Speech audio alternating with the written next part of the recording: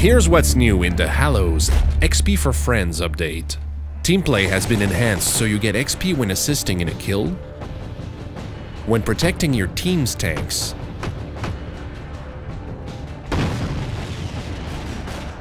and when your teammates use your vehicle's weapons. The locations of deploy zones have been updated to improve the flow of gameplay. And we have added more bicycles and health crates. When waiting to deploy, you can now keep up with the actions of your teammates with the new Spectate mode. All of this and much more. Try the new update for free at heroesandgenerals.com or on Steam.